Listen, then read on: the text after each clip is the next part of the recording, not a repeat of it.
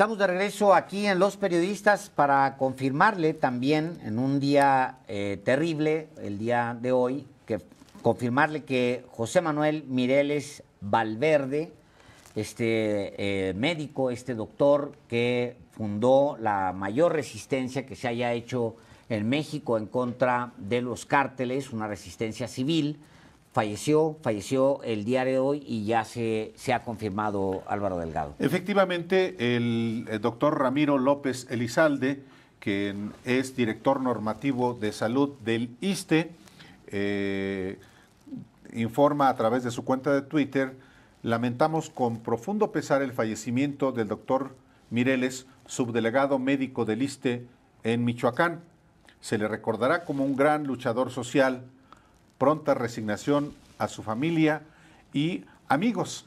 Había estado muy delicado el doctor Mireles. Eh, de hecho, apenas el 23 de noviembre se trascendió eh, que había ya perdido la vida. No ocurrió así. Su esposa eh, dijo que no había fallecido, que estaba dando una lucha eh, lo que dijo ella, les compartimos que el doctor se encuentra delicado, pero sigue dando la batalla. Los médicos buscan controlar padecimientos previos y revertir los rezagos que dejó el COVID en algunos órganos. Agradecemos al personal médico y sobre todo al pueblo de México por sus buenos deseos. Esto eh, se escribió, fue el, el último tuit de la cuenta oficial del doctor José Manuel Mireles, el 24 de noviembre. Doctor Mireles fue un, eh, eh, un personaje clave en, un, en, el levantamiento que se dio en Michoacán. Él organiza este, este levantamiento en realidad.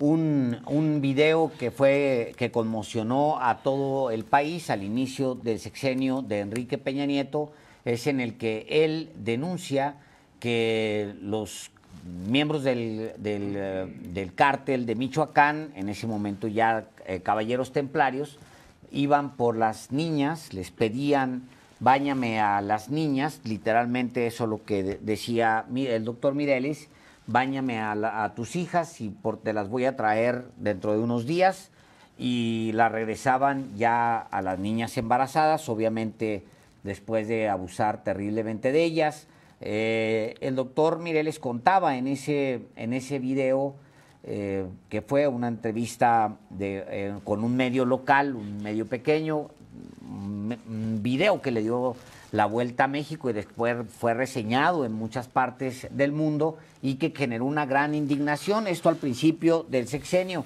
De él encabeza una resistencia, organiza a civiles, ahí salen varios líderes de los que todavía están ahí en Michoacán, organiza una resistencia y empieza una, una revuelta civil como yo no recuerdo que se haya dado en México desde el ejército zapatista, Álvaro, que fue una toma de pueblo en pueblo, de ciudad en ciudad, sacando a los criminales, entregándolos a la justicia o bien eh, pues echándolos a correr. Sí, pero también hay que decir que esta organización, esta rebelión para proteger a tantas familias en el estado de Michoacán tuvo consecuencias para el propio doctor Mireles. Hay que recordar que fue el gobierno de Enrique Peña Nieto quien lo capturó y lo encarceló.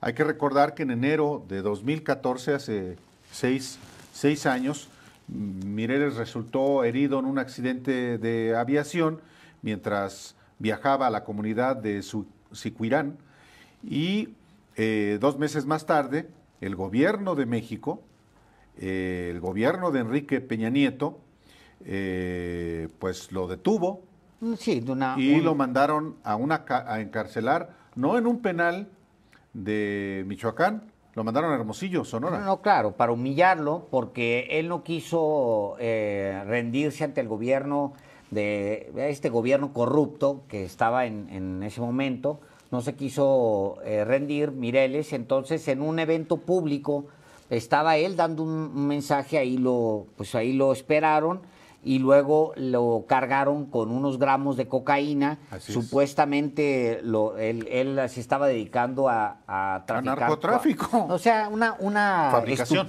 Una fabricación de lo más estúpido. Eh, él es, un, es humillado, le cortan el cabello, lo, lo meten en una celda, como lo hace, como suelen hacer estos le gobiernos. Le cortan el bigote. Le cortan el bigote, lo humillan terriblemente al doctor eh, Mireles y luego lo llevan a ofrecer una disculpa pública que tiene que él hacer. Eh, hay un video, Álvaro, que es... En, 1900, en 2016. dos años, como dos, tres años después. En, en 2016, Mireles presentó al gobierno y a su familia una declaración en video. Terrible. En la que dijo, quiero pedir disculpas a través de este mensaje al gobierno de mexicano y a sus instituciones oficiales y no oficiales y a sus estructuras nacionales por no respetarlas con palabras o acciones, por ofenderlas con mis omisiones y desobediencia civil. Esto fue lo que dijo eh, y aún así eh, Mireles permaneció en la cárcel y después de tres años, el 11 de mayo de 2017, un juez le concedió la libertad tras pagar una multa, una fianza de 30 mil pesos y le condicionó a no salir del estado de Michoacán ni del país. Bueno, el Pero fue, fue absuelto al absuelto, claro, por supuesto. En julio de 2018. Claro, en, en 15 días después de que Andrés Manuel López Obrador gana las elecciones. Claro, una burla. El 18 de julio fue absuelto al considerar que no existían indicios o motivos suficientes para, tenerlo detenido, para imputarle delito. Bueno, ese, ese que lo detuvo, eso es eh, Alfredo Castillo Cervantes, ese es el que organizó todo. El primo de otro primo de Felipe, de Enrique Peña Nieto. Así es, es un este este señor organiza eh, una batida en contra porque no lo no lo puede doblar, no lo puede rendir y entonces lo que hacen es cargarlo con drogas al doctor Mireles, meterlo a prisión y humillarlo, conducirlo a, la humillación, porque pues obviamente el doctor pues, temía por su vida, temía por la vida de su familia, de perder todo, porque ya lo estaban, le estaban cargando pues todo, todo, todo lo que es muertos y droga y, y, demás. Y quien lo detiene es Alfredo Castillo, Alfredo Castillo Cervantes, quien le organiza todo este, que fue un, pues, eh, pues uno de los operadores, de los más negros operadores de Enrique Peña Nieto, el, que fue supuestamente a pacificar Michoacán. Ahí está su pacificación, ahorita están eh, las matanzas a todo lo que da ahí en, Michoacán. Sí, por supuesto, ya estamos en otro gobierno, ya tiene este gobierno dos años de eh, ejercicio del poder en Michoacán el gobernador es del PRD, Silvano Aureoles, y Alfredo Castillo Cervantes, este personaje que supuestamente iba a pacificar Michoacán, que se convirtió en virrey, prácticamente era el que mandaba en todo, pues un comodín de Enrique Peña Nieto. Acuérdense del caso de la niña Polet. Polet, claro. Acuérdense que también Castillo Cervantes fue de la Comisión Nacional del Deporte, fue también Acuérdate que eh, sustituye a Humberto Benítez Treviño. En la Procuraduría Federal del Consumidor. Exactamente, que porque Humberto Benítez Treviño se ve obligado a renunciar. Porque su hija. Porque su hija llega y eh, apenas empezaba el gobierno, llega a un restaurante, el, Maxim, el Maxims, eh, aquí en, la Roma, entra y Lady, una de las primeras ladies, por cierto. Lady Profeco. Lady Profeco, porque llegó y, a ver, me cierran este restaurante, típico actitud No, era por una mesa, ¿no? Yo quiero esa mesa. No, no, no, no, pero me cierran este restaurante. Ah, sí es cierto. Y luego lo cierran. Y luego lo cierran. O sea, llegan los inspectores y cierran el restaurante. Él es gente de él, de, de este personaje, la hija, digo, porque no tenía razones para renunciar como procurador pues la, es la hija, órale, pues que, que, haga lo que sea. Pero la Profeco se moviliza y cierra el restaurante. Y tiene, de esto deriva en la renuncia de uno de los hombres del, del, grupo Atlacomulco. Y más cercano a Peña, su profesor.